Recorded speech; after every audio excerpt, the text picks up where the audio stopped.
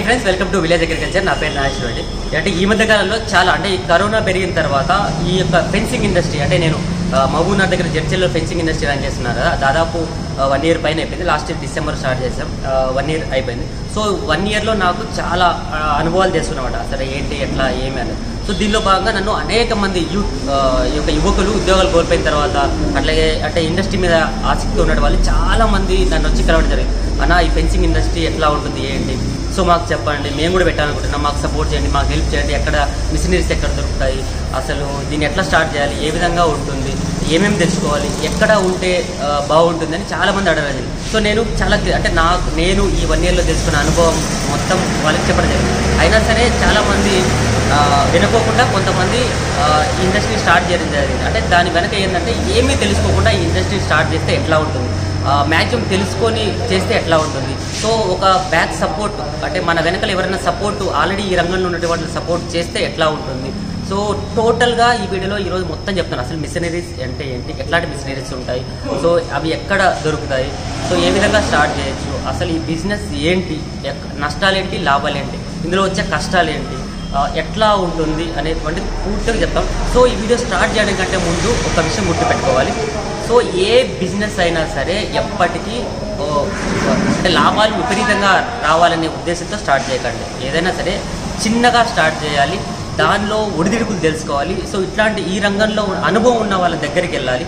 So మీరు ఎప్పుడు సిగ్గు మొహమాటం అనేటువంటి ఉండకూడదు. సో నేను జర్నలిజం చేసినప్పుడు నాకు మా ప్రిన్సిపల్ గారు చెప్పినటువంటి ఒకే ఒక మాట ఏంటంటే బిజినెస్ అయినా జర్నలిజం అయినా ఒక ఉద్యోగం తర్వాత చేసే ఏదైనా సరే అందులో మనకు సిగ్గు మానం అభిమానం సో రకరకాలు ఇట్లాంటివి అస్సలు ఉండకూడదు.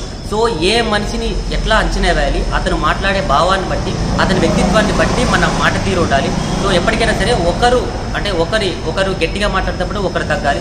ఒకరు తగ్గినప్పుడు ఒకరు గట్టిగా మాట్లాడినప్పుడు మాత్రమే అది సామరస్యంగా ఏ బిజినెస్ అయినా కూడా సాధ్యమవుతుందని సో మాకు మొట్టమొదటి చెప్పడం జరిగింది. సో అదే ఇక్కడ అప్లై అవుతుంది. సో ఎవరికైనా సరే మొహమాటాలు సిగ్గు బిడియం ఇట్లాంటి వాళ్ళు ఉన్నటువంటి వాళ్ళు ఎవరైనా సరే అవి వదిలిపెట్టేప్పుడు మాత్రమే ఈ బిజినెస్ కాదు ఏ బిజినెస్లో అయినా సరే సక్సెస్ కావచ్చు. సో ఇప్పుడు పాయింట్లోకి వెళితే అసలు ఈ బిజినెస్ ఎట్లా ఉంటుంది? ఏంటి? మిషనరీస్ ఏంటి? నేను ఫస్ట్ మిషనరీస్తో స్టార్ట్ చేశాను. తర్వాత ఒక్కటంటే ఈ వీడియో లెంత్ కొంచెం ఎక్కువ ఉంటుంది. కానీ మ్యాక్సిమం అసలు ఏంటి అని ఎక్స్ప్రెషన్ చేసే ప్రయత్నమే చేస్తాను. సోది అనుకున్న వాళ్ళు దయచేసి ఇక్కడ నుంచి స్కిప్ కావచ్చు. కాకపోతే నేను టోటల్ ఈ వీడియో అసలు మొత్తం ఈ బిజినెస్ గురించి టోటల్గా చెప్పాలి అనే ఉద్దేశంతో మాత్రం నేను స్టార్ట్ చేస్తున్నాను సో మా మాలాంటి యూట్యూబర్స్ ఉంటారు. సో యూట్యూబర్స్లో ఏంటంటే చాలా వీడియోస్ ఉన్నాయి యూట్యూబ్లో అంటే ఈ పెంచి బిజినెస్ నెలకు లక్షల్లో వస్తుంది. సింపుల్గా ఊరికి అట్లా మిషన్ పెడితే లక్షల్లో మీకు వస్తుందని మభ్యం పెట్టే మాటలు చాలా వీడియోస్ ఉన్నాయి. కానీ రియల్ అది కాదు. సో ఎప్పుడు కూడా దీనిలో లక్షలు సంపాదించే అవకాశం ఉంది. కానీ ఎట్లా చేసుకుంటే లక్షలు వస్తాయి? ఏ విధంగా ఏ విధంగా మన మైండ్ సెట్ ఉంటే ఉంటుంది? ఈ బిజినెస్ ఏంటి అనేది క్లియర్గా చెప్తాను. సో వీడియో లెంత్ ఎక్కువ ఎక్కువగానే ఉంటుంది మ్యాక్సిమం నాకు తెలిసి. దయచేసి చూసే ప్రయత్నం చేయండి. సో మిషనరీస్తో నేను స్టార్ట్ చేస్తాను అసలు. సో ఇది మిషన్ మిషనరీ ఫ్రెండ్ అంటే ఈ మిషన్లో కూడా చాలా రకాలు ఉంటాయి. సో మాన్యువల్ ఇది వచ్చేసి మాన్యువల్. మాన్యువల్ అంటే మనుషులే టోటల్గా ఓన్లీ బెండ్ మాత్రమే ఈ మిషన్ చేస్తారు. మిగిలినది అంతా కూడా కేవలం మనుషులే చేస్తారు. సో ఇందులోనే సెమీ ఆటోమేటిక్ ఉంటుంది. అంటే only cutting so machine bend plus cutting అదే చేస్తుంది. కేవలం అల్లకం మాత్రమే మనుషులు చేస్తారు. సో దాని తర్వాత ఆటోమేటిక్ మిషన్ ఉంటుంది. సో ఆటోమేటిక్ మిషన్లో టోటల్గా అదే చేస్తుంది. కానీ మనుషులు లేకుండా చేస్తుంది అన్నది భ్రమ. ఇద్దరు మనుషులు కావాలి. ఒక ఎక్స్పర్ట్ దానికి సంబంధించినటువంటి ఆపరేటర్ ఉండాలి. దాని తర్వాత కింద రోల్స్ తీయగలిగే వ్యక్తి అంటే ఇద్దరు ఉండాలి. సో ఆ ఎక్స్పర్ట్ లేని మిషనరీ పనికిరాదు. ఎందుకంటే చాలా మంది ఈ ఈ లేబర్తో ప్రాబ్లం వచ్చి ఆటోమేటిక్ మిషన్ అంటే దాదాపు పద్నాలుగు పదహైదు లక్షల రూపాయలు ఆటోమేటిక్ మిషన్ తెచ్చి దానికి సంబంధించిన ఆపరేటర్ సరైన ఆపరేటర్ లేక మూల పడేసినట్టు ఉంటారు సో ఎప్పటికీ కూడా ఆటోమేటిక్ మిషన్ జోలికి పోకండి. ఎందుకంటే అనుభవం లేకోకుండా ఆటోమేటిక్ మిషన్కి పోతే చాలా కష్టాలు పడాల్సి వస్తుంది. సో ఇకపోతే మాన్యువల్ తర్వాత సెమీ ఆటోమేటిక్ ఈ రెండు కూడా చాలా ఉపయోగపడతాయి. సెమీ ఆటోమేటిక్ మిషన్ అన్నటువంటిది ఇళ్ళ మధ్యలో ఇండస్ట్రీ పెట్టుకుంటే పనికిరాదు. ఎందుకంటే అది విపరీతమైన సౌండ్ వస్తుంది. మీకు విపరీతమైన కంప్లైంట్ ఇచ్చేటువంటి అవకాశం ఉంది. సో ఇళ్ళ ఇళ్ళ మధ్యలో వ్యాజ్యం లేకుండా ఉండడానికి చూసుకోండి. ఒకవేళ కొంచెం దూరంలో ఉన్నట్టయితే మాన్యువల్ మిషన్ చాలా బాగా ఉపయోగపడుతుంది. కాకపోతే ఇందులో వచ్చే స- ప్రధాన సమస్య వచ్చేసి లేబర్ సో దాని గురించి కూడా నేను తర్వాత చెప్తాను. లేబర్ ఎట్లా ఏంటి అనేది సో ఈ మిషనరీస్ మనకు వచ్చేసి హైదరాబాద్లో చాలా ఉన్నాయి. తర్వాత తమిళనాడు దొరుకుతాయి చెన్నై దొరుకుతాయి గుజరాత్ దొరుకుతాయి తర్వాత చైనా కంపెనీలు కూడా చాలా ఉన్నాయి. ఈ మధ్య కాలంలో ఈ పెన్సిల్ బిజినెస్ అయితే లాక్డౌన్ తర్వాత ఇది ఎట్లా తయారైందంటే మన ఊర్లలో పిండి మిషన్లు ఉంటాయి. పిండి మిషన్లు తర్వాత ఈ దోశ దోశ సంబంధించిన గ్రైండర్లు. ఎందుకంటే ఈ సందులో ఉంటుంది ఆ సందులో ఉంటాయి అవతల సందులో ఒకటి ఉంటుంది. అవుతుంది సో ఆ విధంగా వీటిని కూడా పెడుతున్నారు. కాకపోతే అక్కడే ప్రాబ్లం వస్తుంది. ఒక విషయం గుర్తుపెట్టుకోవాల్సింది ఏంటంటే మన ఊర్లో ఉండే పిండి కానీ దోశ కానీ ఏ రోజు పట్టించింది ఆ రోజు తిన్నది అడిగిపోతుంది. తర్వాత కొత్తగా మళ్ళీ మళ్ళీ వస్తుంది మళ్ళీ తింటారు అది నిరంతర ప్రక్రియ. కానీ ఇది ఫెన్సింగ్ బిజినెస్ అన్నటువంటిది. ఏంటి అంటే ల్యాండ్ ఎప్పటికీ పెరగదు. ఇంకా తగ్గుతూనే పోతా ఉంది. అంటే భూమి యొక్క విస్తీర్ణము అలాగే ఉండిపోతుంది. ఆ విస్తీర్ణంలో ఈ పంట వేసే బాగా అంటే పంట వేసేటువంటి పెరుగుదల తగ్గిపోతూ ఉంది ప్రతి ఏడాది. ఎందుకంటే జనసంఖ్య పెరగడం ఇల్లు ఇల్లు విపరీతంగా పెరగడం పంట పొలాలు కాస్త వెంచర్లు యొక్క ఫ్లాట్లు ఇక తయారై భూమి తగ్గిపోతూనే ఉంది. సో భూమి విస్తీర్ణం తగ్గిపోతూనే ఉంది కానీ మిషనరీస్ పెరుగుతున్నాయి ప్రొడక్షన్ ఎక్కువ అవుతుంది దానివల్ల సేల్ చాలా తగ్గిపోయింది. మరో ముఖ్య విషయం ఏంటంటే ఈ మధ్య కాలంలో లాక్డౌన్ తర్వాత ఈ వ- ఒక నెలలో ఒక కేజీకి పది నుంచి పద్నాలుగు రూపాయల ముడి సరుకు ధర పెరిగింది. దాంతో ప్రొడక్షన్ రంగం పెరిగింది కానీ సేల్ లేదు. దాంతో చాలా కంపెనీలు నష్టాలు బాట పడ్డాయి పెద్ద పెద్ద కంపెనీలు సో ఈ పరిస్థితుల్లో చిన్న చిన్న కంపెనీల పరిస్థితి చాలా అగమ్య గోచరంగా ఉంటుంది. సో నెక్స్ట్ క్లియర్గా ఏంటంటే ఈ మిషనరీస్ ధర ఎట్లా ఉంటుంది? అంటే ఆటోమేటిక్ మిషన్ దాదాపు ఏడు లక్షల నుంచి స్టార్ట్ అయితే పద్నాలుగు లక్షల వరకు ఉంది. కాకపోతే గుర్తు పెట్టుకోవాల్సింది అంటే ఆటోమేటిక్ మిషన్లో ఆపరేటర్ ప్రాబ్లం ఒకటి రెండు తక్కువ ధరలో మిషనరీస్ తెచ్చుకుంటే అసలు పని చేయదు. ఎందుకంటే అది ఏమైనా చిన్న ప్రాబ్లం వచ్చినా దాన్ని రెక్టిఫై చేసేటువంటి అనుభవం లేని ఆపరేటర్ ఉంటే చాలా ఇబ్బంది పడాల్సి వస్తుంది. వేస్టేజ్ ఎక్కువ వస్తుంది దాని ఖర్చు ఎక్కువ వస్తుంది. సెమీ ఆటోమేటిక్ మిషన్ కానీ మాన్యువల్ మిషన్ కానీ పెద్ద ఖర్చు వచ్చేటువంటి అవకాశం. అంటే దీన్ని మెయింటెనెన్స్ చాలా తక్కువ ఉంటుంది. మాన్యువల్లో అయితే ఇంకా తక్కువ ఉంటుంది. సెమీ ఆటోమేటిక్ మిషన్లో కొంచెం రిస్క్ రిస్క్ ఏమి ఉండదు. కాకపోతే కొద్దిగా కొద్దిగా గొప్ప దానికి మైనర్ రిపేర్స్ అట్లాంటివి వస్తూ ఉంటాయి. కాస్త మాన్యువల్తో వచ్చిన దానికి ఎక్కువగా ఉంటుంది. దీంట్లో ఏం పెద్ద ఆ, ఉండదు. జస్ట్ ఒక మోటార్ ఉంటుంది. బెల్ట్ చిన్న బిజినెస్ సో దాదాపు ప్రస్తుతం ఉన్న పరిస్థితులు ఐరన్ రేట్లను బట్టి డెబ్బై నుంచి ఎనభై వేల రూపాయలు కాస్ట్ అవుతుంది. దీంట్లో కొంచెం అప్గ్రేషన్ కూడా వచ్చాయి ఈ మధ్య ఒక లక్ష నుంచి లక్ష ఇరవై వేల వరకు కూడా ఈ యొక్క అప్గ్రేషన్ కూడా ఉన్నాయి. సో ఈ మధ్య కాలంలో వచ్చినటువంటి అప్గ్రేషన్స్ కూడా అంటే అంటే చెప్తున్నారు సెల్ ఫోన్ల మాదిరి ఒక్కొక్క నెల నెల తిరిగేసరికి కొన్ని కొన్ని అంటే దానిలో ఉన్నటువంటి ఇబ్బందులు కూడా సరి చేస్తూ సులభతరం చేస్తున్నారు. అంటే ఒకటి విషయం ఏంటంటే ఈ ఇండస్ట్రీని స్టార్ట్ చేయడానికి పెద్ద ఖర్చు కాదు. ఒకటి ఒకటి మిషనరీకి పెద్ద ఖర్చు కాదు.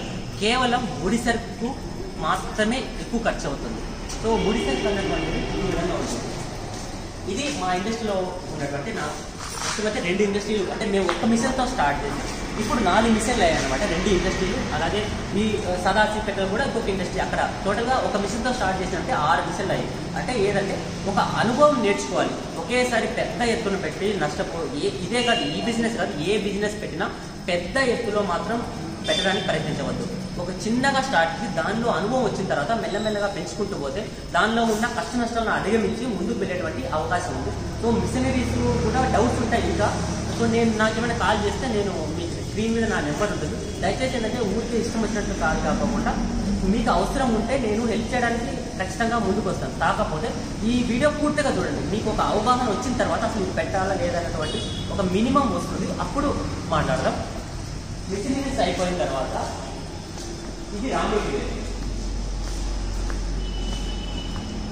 సో తయారు చేసినటువంటి రా మెటీరియల్ ఇట్లా ఉంటుంది ఈ విధంగా ఉండల్లో వస్తాయి సో ఇది ఎక్కడ దొరుకుతుంది ఏంటి అన్నటువంటి గురించి చాలా మంది తెలియదు సో అనేక రకాల కంపెనీలు ఉన్నాయి సో పెద్ద మొత్తంలో తెచ్చుకునే వాళ్ళకి రాయపూర్ అంటే ఛత్తీస్గఢ్ రాయపూర్ ఉంది అలాగే నాగపూర్. ఈ ఈ రెండు రాష్ట్ర ఈ రెండు చోట్ల కూడా పెద్ద ఎత్తున ఐరన్ ఓవర్ ఉంది కాబట్టి అక్కడే కంపెనీలు ఉన్నాయి. అక్కడ నుంచి పెద్ద ఎత్తున అంటే పెద్ద ఇండస్ట్రీ పెట్టి సో మంచి ఒకేసారి పెద్ద మొత్తంలో పెట్టుబడి పెట్టగలిగినటువంటి వారికి అక్కడి నుంచి తెచ్చుకుంటాం లేదు మేము సింపుల్గా తెచ్చుకోవాలనుకుంటున్న వారికి మాలాంటి ఇండస్ట్రీలు కూడా మేము అమ్ముతాము. దాంతోపాటు హైదరాబాద్లో కూడా ఇస్తారు. ఎందుకంటే రా మెటీరియల్ హైదరాబాద్లో కూడా దొరుకుతుంది. కాకపోతే ఇందులో వచ్చే ప్రధాన సమస్య ఏమిటంటే డైరెక్ట్ కంపెనీ నుంచి తెచ్చుకుంటే ఒక రెండు రూపాయలు తక్కువ పడుతుంది. సో మాలాంటి వాళ్ళ దగ్గర కానీ ఇంకొక అంటే అందరూ అక్కడ నుంచి తెచ్చి లాభం లేకుండా ఎవరు ఇవ్వరు కదా ఎంతో కొంత లాభం తీసుకొని మీకు దాన్ని నమ్ముతారు. మీరు దాన్ని దాన్ని మళ్ళీ మాన్యువల్గా చేసుకొని దాన్ని చేంజ్ చేసుకోవాల్సిన పరిస్థితి ఉంటుంది. కాకపోతే ఇందులో వచ్చే ప్రధాన సమస్య ఇప్పుడే నేను చెప్తున్నాను లేబర్ విషయం తర్వాత చెప్తారు ఇండస్ట్రీకి సంబంధించి వచ్చేటువంటి ఏంటంటే సింపుల్గా ఒక డెబ్బై ఎనభై వేలు పెట్టి మిషన్ తెచ్చుకుంటారు. చాలా మంది అదే చేస్తున్న పొరపాటు ఏంటంటే దీని గురించి ఏమి తెలుసుకోకుండా కనీసం మినిమం నాలెడ్జ్ లేకోకుండా దిగుతున్నాను కూడా దయచేసి నేను దీని గురించి చెప్పడానికి ముందు ఏంటంటే ఆల్రెడీ ఇండస్ట్రీ పెట్టిన దగ్గర పది చోట్ల తిరగండి. పది చోట్ల తిరిగితే ఎందుకంటే దీంట్లో అంటే ఈ రంగంలో సహాయం చేసే వాళ్ళు చాలా తక్కువ ఉంటారు. కానీ ఉంటారు. ఒక ఒక- ఒకరు ఒకరు హెల్ప్ చేయలేదు ఎందుకంటే పోటీతత్వం వచ్చినప్పుడు ఎవరు చెప్పరు. ఎందుకంటే బిజినెస్ సీక్రెట్స్ ఎప్పుడు ఎవరు చెప్పరు. అది చెప్పడం కూడా ధర్మం కాదనేటువంటి ఉద్దేశంతో కూడా ఉంటుంది. ఎందుకంటే వాళ్ళకే పోటీ వస్తే వాళ్ళు ఇబ్బంది పడాల్సిన పరిస్థితి వస్తుందనే ఉద్దేశంతో బిజినెస్ సీక్రెట్స్ చాలామంది చెప్పరు. కానీ చెప్పే వాళ్ళు కూడా ఉంటారు. అందరూ అలా ఉండరు కదా. సో పది చోట్ల తిరగండి. అక్కడే ఉండండి. అసలు ఏంటి? ఎట్లా? ఒకరు చెప్పరు. ఇద్దరు చెప్పరు. ముగ్గురు చెప్పరు. ఎవరో ఒకరు చెప్తారు. పది మంది కాబట్టి పదహైదు మంది దగ్గర.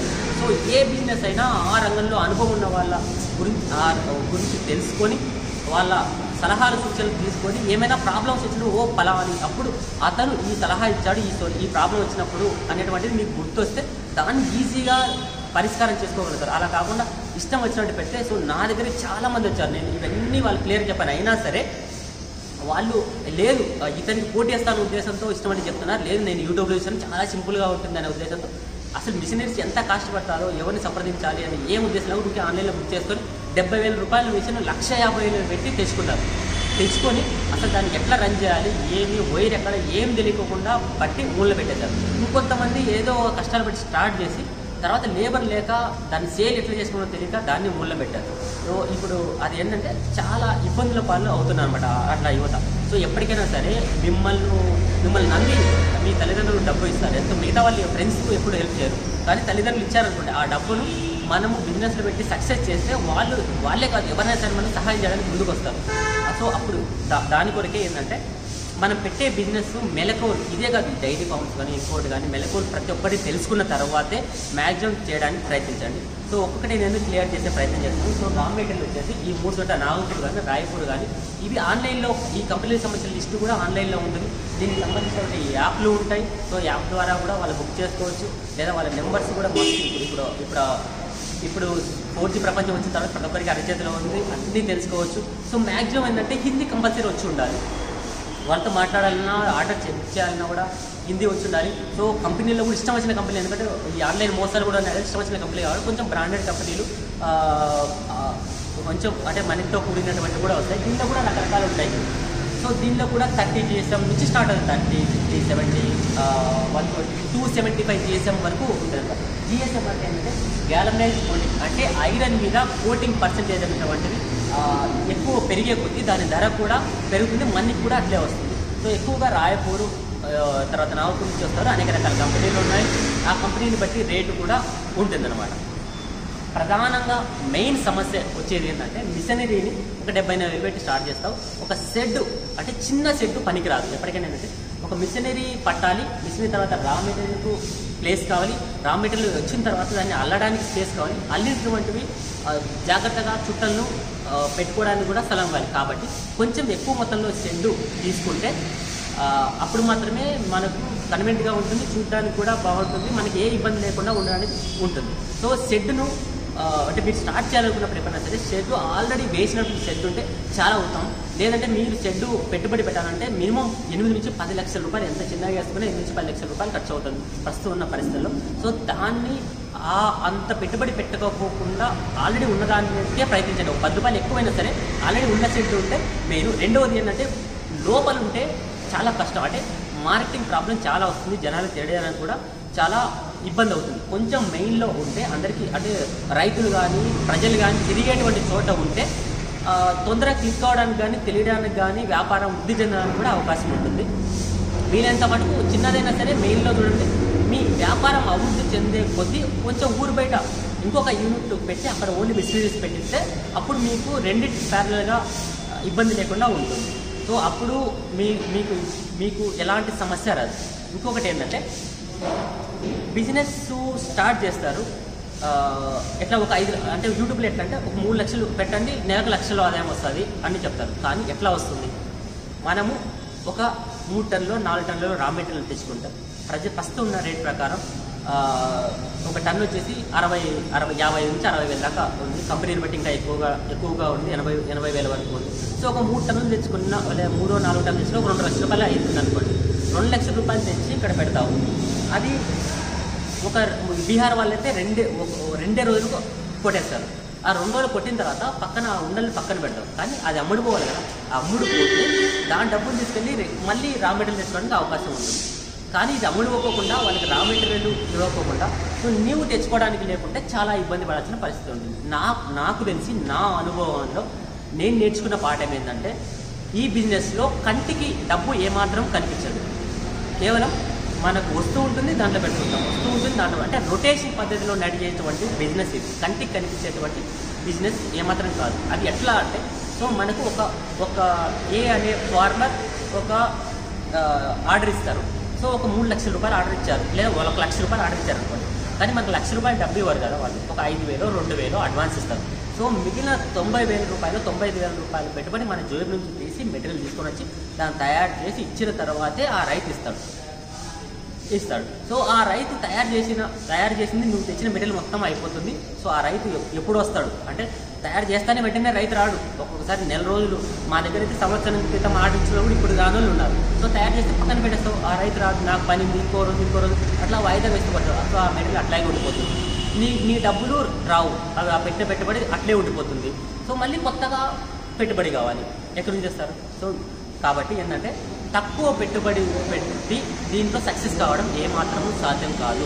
ఒకటి వ్యాపారం మనం తయారు చేసి తయారు చేసినట్టు పోతూ ఉంటే మాత్రమే తక్కువ మొత్తంలో దాన్ని చేయడానికి అవకాశం ఉంది. అలా కాకుండా ఈ విధంగా లేట్ అవుతూ ఉంటే చాలా ఇబ్బంది పడాల్సి వస్తుంది. సో నా అనుభవంలో నేర్చుకుంటే మినిమం ఇరవై లక్షల రూపాయలు లేని ఈ ఇండస్ట్రీని నడపడం సాధ్యం కాదు. అది కూడా చాలా తక్కువ. నాకేంటంటే బ్యాక్ బోన్ మా జనార్దన్ ఉన్నాడు కాబట్టి సో బ్యాక్ బోన్ సపోర్ట్లో ప్రతి ఒక్కటి ఆయన ఆల్రెడీ ఈ రంగంలో ఎనిమిది పదేళ్ళుగా అనుభవం ఉంది కాబట్టి నాకు ఎట్లాంటి ఇబ్బంది లేకోకుండా పెట్టుబడి కానీ ఇంకోటి కానీ అన్నీ సమకూర్చి ఒక ఒక స్థాయిలో నిలబెట్టాడు కాబట్టి నాకున్నటువంటి అంటే జర్నలిజంలో అనుభవం ఉంది కాబట్టి బట్టి నేను నెట్టుకు రాగలిగాను. అలా కాకుండా ఎలాంటి అనుభవం లేని వాళ్ళు దీంట్లో నెట్టుకు రావడం అనేది చాలా కష్టంతో కూడిన పని. ఇంకోటి ఏంటంటే ఇప్పుడు ఇప్పుడు ఉన్నటువంటి స్వార్థ అంటే స్వార్థంతో కూడినటువంటి మైండ్ స్వార్థ కూడిన జనాలు కూడా సహకరించడం చాలా ఇబ్బందితో కూడుకుంది. ఎవరు సహకరించేటువంటి వాళ్ళు కూడా లేరు. సో దాంతో చాలా ఇబ్బంది పాలే అవుతుంది రెండు మనం ఎంచుకునే ప్లేస్ ఎంచుకునే ప్లేసు తర్వాత నడుచుకునే విధానం. ఎప్పటికైనా సరే ఈ ఫెన్సింగ్ ఈ ఫెన్సింగ్ అనేటువంటిది ఎవరు ఎవరు వేస్తారు ఎక్కడ వేస్తారు? సపోజ్ కొన్ని జిల్లాల్లో కొన్ని కొన్ని జిల్లాల్లో ఏంటి అంటే కేవలం వరి పండిస్తారు. మొత్తం వాటర్ ఉంటాయి. వాళ్ళు ఫెన్సింగ్ చేసుకోరు. అట్లాంటి చోట మనము ఇండ- ఈ ఇండస్ట్రీ పెడితే ఎలాంటి లాభం లేదు. ఇప్పుడు వేసుకోని చోట ఇండస్ట్రీ పెడితే ఏం లాభం? ఎవరు కూడా దాంట్లో ఉపయోగం లేటువంటిది సో అట్లా కాకుండా మీరు ఎంచుకునేటువంటి ప్రాంతం ఎట్లుండాలంటే కొండ ప్రాంతం అయి ఉండాలి. సో ఆరుతడి అంటే వరిమల్లు కఠినంగా నీళ్ళు లేకుండా ఇప్పుడు గోదావరి జిల్లాలో పనికిరాదు లేదు అట్లా కాదు కొండ ప్రాంతాలు ఆరు తలమల్లు పందులు ఎక్కువ ఉన్నటువంటి ప్రదేశాల్లో పెడితే మాత్రమే దీనికి సేలింగ్ ఉంటుంది. ఇష్టం వచ్చిన చోట పెడితే ఎప్పటికీ సేలింగ్ ఉండదు. సో రాయలసీమ ప్రాంతం కానీ తెలంగాణ ప్రాంతంలో కానీ ఉంటుంది. కానీ అటు ఉభయ గోదావరి జిల్లాలో కానీ కొన్ని వాటర్ సోర్సెస్ ఎక్కువ ఉన్నటువంటి ప్రాంతాల్లో పెడితే పనికిరాదు. అది ఒకటి. ఒకటి. మనం ఎంపిక చేసినటువంటి స్థలము తర్వాత ఎంపిక చేసిన ప్రదేశము ఈ విధంగా ఉండాలన్నమాట. తర్వాత ఎప్పటికీ కూడా మీరు లోకల్లో మాత్రమే పెట్టాలని ప్రయత్నించకండి. లోకల్ అంటే లోకల్ అంటే మీరుంటున్న ప్రదేశంలోనే మేము ఉండాలి. ఎక్కడికి పోవద్దు అక్కడే బిజినెస్ ఉండాలి అని మాత్రం ఎప్పుడు అనుకుంటే అది చాలా చాలా చాలా రాంగ్ స్టెప్ నేను నార్మల్ అనుభవం నేర్చుకున్నాను ఏంటంటే ఇందులో వచ్చేటువంటి ప్రధాన సమస్య ఏంటంటే లోకల్ పెడతారు బాగానే ఉంటుంది. ఏం ఖర్చు ఉండదు పెద్దగా అయిపోతుంది. కానీ సో ఇప్పుడున్నట్టు పరిస్థితి ఒకప్పుడు పది రూపాయలు ఒకప్పుడు స్టార్టింగ్లో ఇరవై రూపాయలు కూడా లాభం వచ్చింది అది కాస్త ఇండస్ట్రీని పెరిగిపోతుంది మోడీతో పెరిగిపోతుంది తగ్గుతూ తగ్గుతూ తగ్గుతూ తగ్గుతూ ఇప్పుడు అర్ధ రూపాయలు కూడా వ్యాపారం చేసేటువంటి పరిస్థితులు పడిపోయింది. అది ఎట్లా అంటే ఒక ఉదాహరణకి ఏంటంటే జియోను తర్వాత మిగతా పోటీ అంతకుముందు జియో రానప్పుడున్నటువంటి వోడాఫోన్ కానీ ఐడియా కానీ ఎయిర్టెల్ కానీ ఒక జీబీ నెట్ కొనాలంటే వందలో ఛార్జ్ చేసేవాళ్ళు. కానీ పోటీ తత్వం పెరిగిపోతుంది ఏకం ఒక జీబీ పైసలలో పడిపోయింది.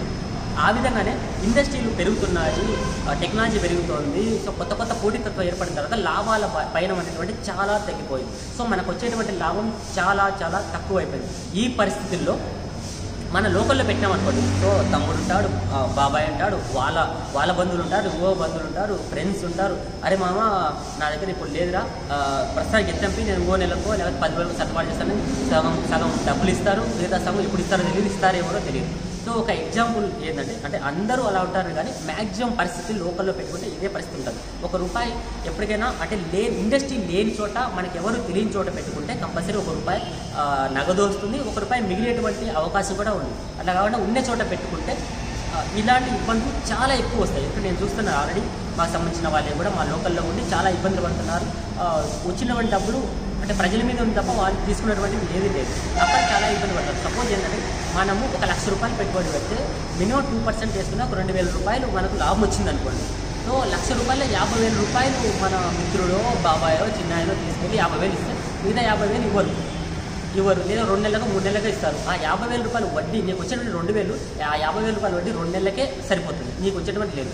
రెండు పైపెచ్చి నీకు ఇచ్చేటప్పుడు కూడా ఐదు వేలో పై పై వేలో ఎగ్గొట్టో ఇంకోటి ఇంకోటి చేసో మొహమాటానికో ఎగ్గొట్టిపోతారు సో నువ్వు స్వతహా చేతి నుంచే ఇంకా ఇవ్వాల్సి ఉంటుంది సో అట్లాంటి ఇబ్బందులు చాలా ఎక్కువ వస్తాయి మన లోకల్ పెట్టుకుంటే. ఒకటి ప్రధానంగా గుర్తుపెట్టుకోవటువంటిది సో అందరికీ తెలిసేటువంటి ప్రదేశంలో ఉండాలి. రెండు మెల్లగా స్టార్ట్ చేయాలి. దీని గురించి అనుభవం నేర్చుకోవాలి. మూడు మన లోకల్లో ఉండకూడదు.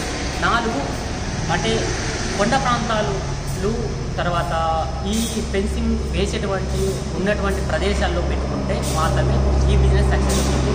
రెండు ల్యాండ్ రేట్స్ విపరీతంగా పెరగడం వలన అంటే ఊరికే అంటే ఏం పంట లేకపోయినా సరే ఊరికే మన చుట్టుముట్టు బౌండరీ వేస్తే సరిపోతుంది. ఎవరు రాకపోతే జరపకుంటారన్న ఉద్దేశంలో కూడా ఎక్కువ వేస్తున్నారు. సో అట్లాంటి రియల్ ఎస్టేట్ రంగం ఉన్నటువంటి ప్రాంతాల్లో కూడా బాగా పనికొస్తుంది. మ్యాక్సిమం ఏంటి అంటే ఎప్పటికీ కూడా ఐదు వేలు పదివేలు రెండు లక్షలు యూట్యూబ్లో చూసి దీని జోలికి మాత్రం రావద్దు. మ్యాక్సిమం అనుభవం ఉన్న తర్వాతే రండి. ఒక పది ఇండస్ట్రీలు తిరగండి. తిరిగిన తర్వాతే ఈ ఇండస్ట్రీ పెద్దగా పెంచండి. రెండు లేబర్.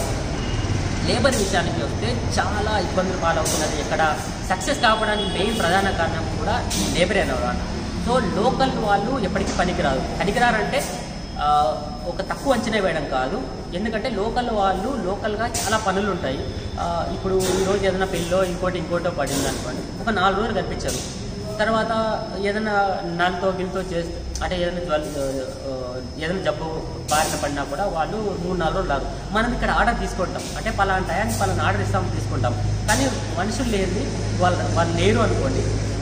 అప్పుడు ఏం చేయలేము మనం. ఆర్డర్ తీసుకొని కూడా ఇవ్వలేని ఆర్డర్ ఉన్నా కూడా ఇవ్వలేని పరిస్థితి అవుతుంది లోకల్ వాళ్ళని పెట్టుకుంటే.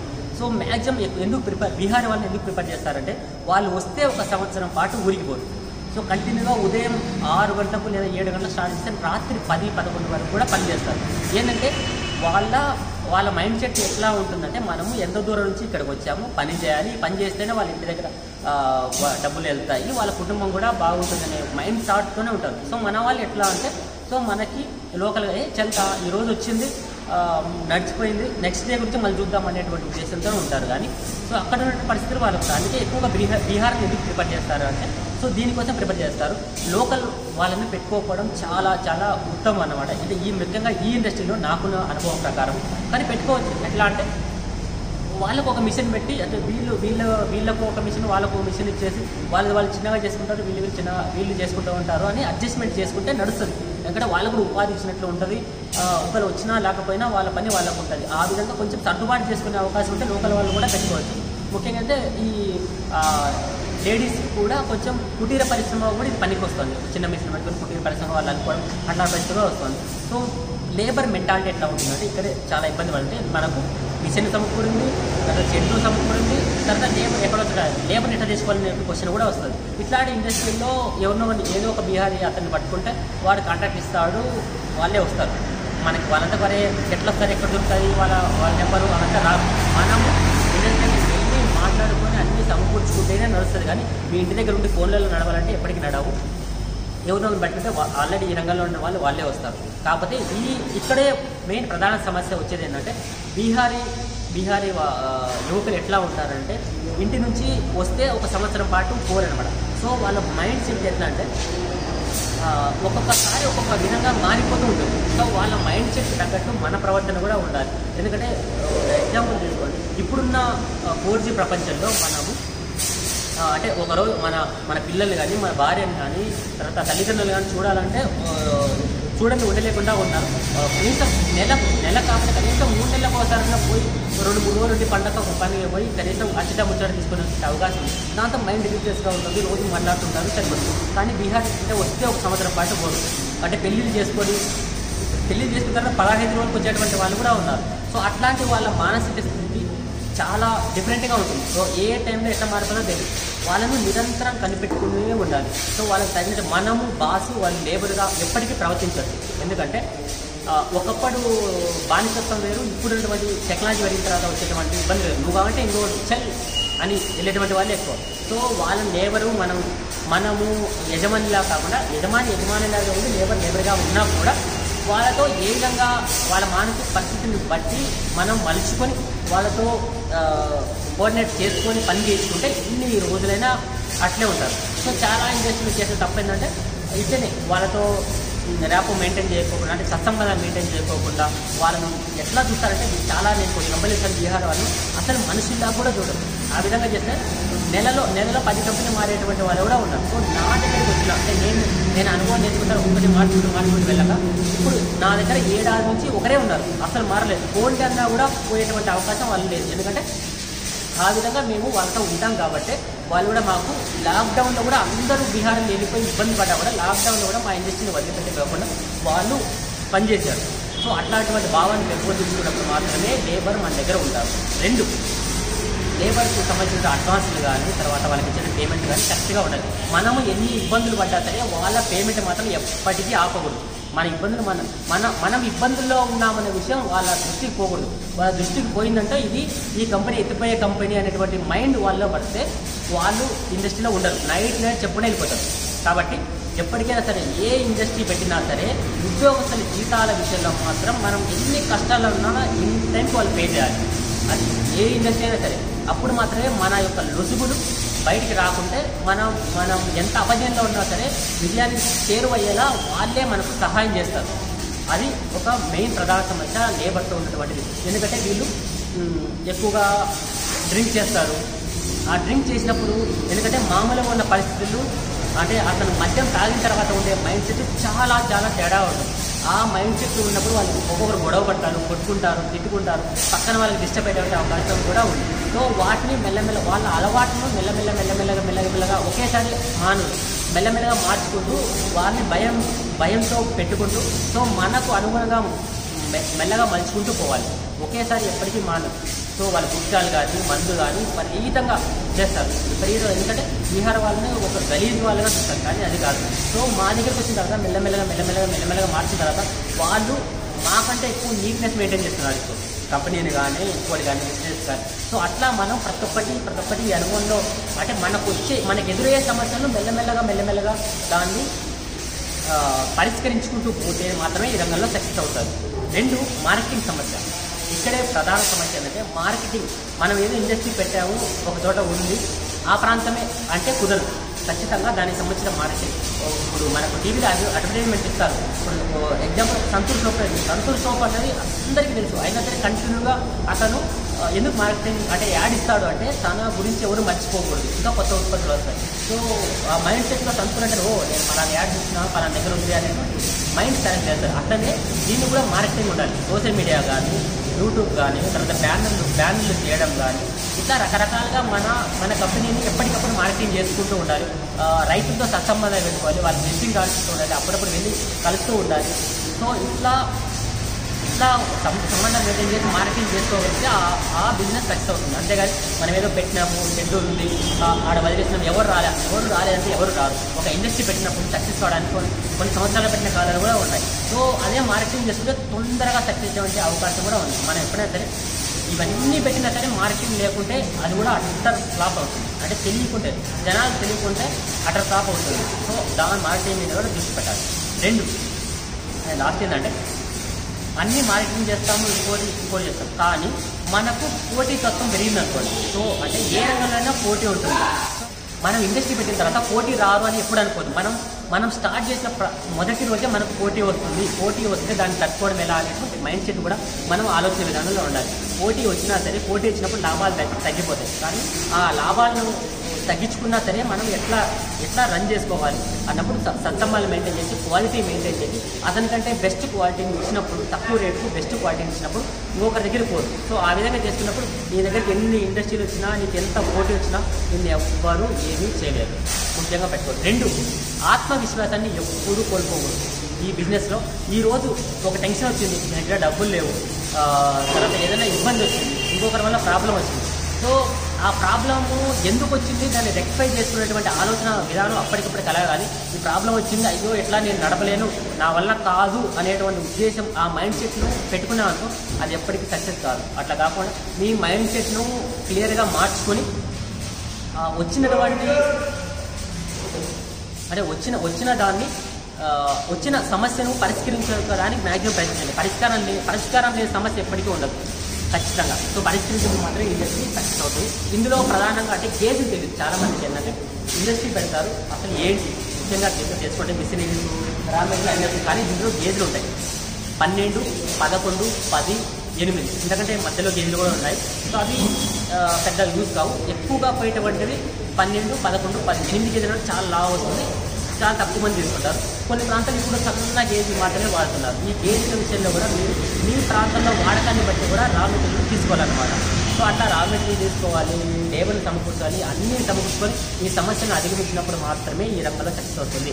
ఓ రెండు లక్షలు మూడు లక్షలు పెట్టుకొని లేదా అప్పు తెచ్చుకొని లేదా దోస్తుల దగ్గర పెట్టుకొని నడపాలంటే ఈ రంగం సాధ్యం కాదు. ఇంకొక ప్రధాన సమస్య అంటే నేను మర్చిపోయిన ఇందాక సో ఒక స్నేహితులతో చేసే వ్యాపారంలో ఇది సక్సెస్ కాదు. ఎప్పటికైనా సరే ఒంటరి ఒంటరి వ్యక్తితో స్టార్ట్ చేసినప్పుడు మాత్రమే ఇది సక్సెస్ అవుతుంది. అట్లా కావాలంటే మీ స్నేహితులు ఇంకోరు ఇంకోరో పార్ట్నరో భాగస్వాము ఇద్దరో ముగ్గురో కలిసి చేసుకున్నామంటే కంపల్సరీ ఇది నడవదు.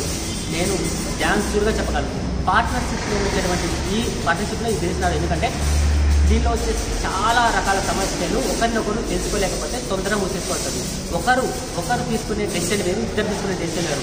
ఇద్దరి మధ్య అండర్స్టాండింగ్ లేకపోతే ఆ డెసిషన్ అనేది పక్కకు పోతే ఇండస్ట్రీ అనేది ఒక నైట్ టైం క్లోజ్ అవుతుంది. సో ఎప్పటికీ కూడా భాగస్వామ్యంతో మాత్రం ప్రారంభించాలని అనుకోండి సో ప్రారంభించచ్చు కానీ అతను ఒక యూనిట్ నువ్వు ఒక యూనిట్ పెట్టుకుంటే ఇబ్బంది లేదు. అట్లా కాకుండా ఒకే యూనిట్లో ఇద్దరు కలిసి చేస్తే ఇబ్బందుల పాలు కావాల్సి వస్తుంది. ఇంకా వేరే డౌట్స్ ఉన్నా కూడా ఏమైనా సరే నా నెంబర్ డిస్ప్లే మీద ఉంటుంది. నాకు కాల్ చేయొచ్చు. ఇంకా ఏమైనా అడగడానికి ప్రయత్నించు సో మాది వచ్చేసి ఆంధ్రప్రదేశ్లో కడప అలాగే రాయచోటి మదనపల్లి తర్వాత ఇటు సైడ్ గోదావరి సైడ్ వచ్చినప్పటికి వచ్చేసి విజయనగరము జ జంగారెడ్డిగూడెము అనంతపురము తర్వాత పులివెందుల తర్వాత శ్రీకాళహస్తి బీలేరు ఈ ప్రాంతాల్లో ఆంధ్రప్రదేశ్ సంబంధించింది. తెలంగాణలో అంటే ప్రస్తుతం రన్నింగ్లో ఉన్నటువంటిది మహబూబ్ నగర్ మహబూబ్ నగర్ దగ్గర జడ్చల్ల సంగారెడ్డి పక్కన సదాజీపేట ఉంది. సో వీళ్ళు అతి తొందరలో మేము ఇంకా నాలుగు బ్రాంచ్లు నల్గొండ అలాగే కోదాడ తర్వాత సిద్దిపేట నిర్మల్ ఈ బ్రాంచ్ కూడా స్టార్ట్ చేయబోతున్నాం. మ్యాక్సిమం ఏంటంటే రైతులకు అందుబాటులో ఉన్నప్పుడు మాత్రమే ఇది ఈ బిజినెస్ సక్సెస్ అవుతుంది. కొంటారు కూడా. సో ఎగ్జాంపుల్ ఏంటంటే నేను ఇందాక చెప్పడానికి మర్చిపోయాను. ఇప్పుడు ఒక వస్తువు చాలా దూరంలో ఉందనుకో ఎక్కడో ఉందిలే ఏడగొంటావాలి అనేటువంటి ఉద్దేశంతో దాని జోలికి. అదే వస్తువు మన ఇంటి ముందరకు వచ్చిందనుకోండి మనము కొనుక్కోవడానికి ఆసక్తి చూస్తాం ఫర్ ఎగ్జాంపుల్ ఏంటంటే మన ఊళ్ళో దొరికే పండ్లు జామకాయలు అనుకోండి. టౌన్కి వెళ్తేనే జామకాయలు దొరుకుతాయి. సో మనం టౌన్కి వెళ్ళినప్పుడు మాత్రమే కొంటాం. అదే జామకాయలు మన ఊళ్ళోకి వస్తే ఊళ్ళో మ్యాక్సిమం కొంటారు.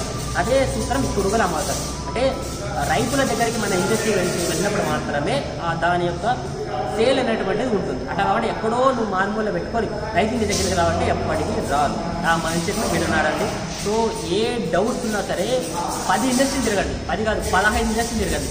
ఆ తిరిగిన తర్వాతే మీ మీకు వచ్చిన మీ అనుభవం ఏమేమి తెలుసుకున్నావో దాని ప్రకారం ఒక్కటి ఒక్కొక్కటి ఒక్కటి పెంచుకుంటూ పోయినప్పుడు మాత్రమే ఈ రంగం సక్సెస్ అవుతుంది. సో నా దగ్గరికి ఒక వంద మంది వచ్చింటారు. ఈ వన్న పెట్టాలి వందలు కొనుక్కాలి సార్. అందరికీ చెప్పడానికి సాధ్యం కాక నేను ఒక వీడియో రూపంలో తెస్తున్నాను సో వీడియో లెంత్ కూడా చాలా ఎక్కువైంది. అయినా సరే మ్యాక్సిమం నేను ఆ, వీడియో చెప్పడానికి ప్రయత్నించాను కాబట్టి వీడియో లెంత్ ఎక్కువ ఉంది ఇంకా ఏమైనా మీకు డౌట్స్ ఉన్నా కూడా నన్ను అడగచ్చు. Thank you for watching this video జై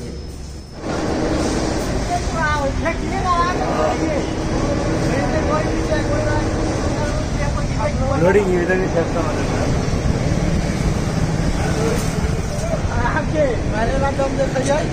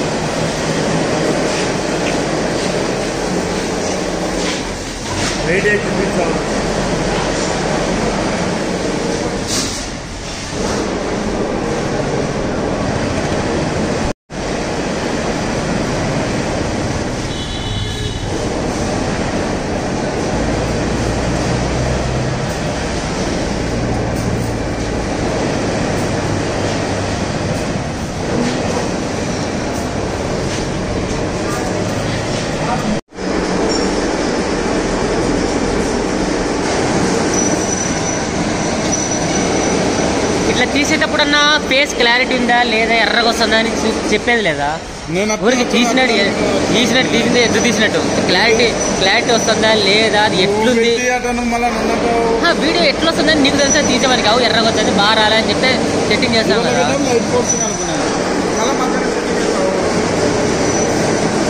మధ్యలో ఈ బ్రైట్నెస్ అప్పుడు నల్ల ఉంటే పెంచింటి. అది అట్లా ఎర్రగా అయిపోయింది. ఇట్లా క్లారిటీ రావాలా? అరే తీసేమని చెప్పాలి కదా ఎట్లా వస్తుంది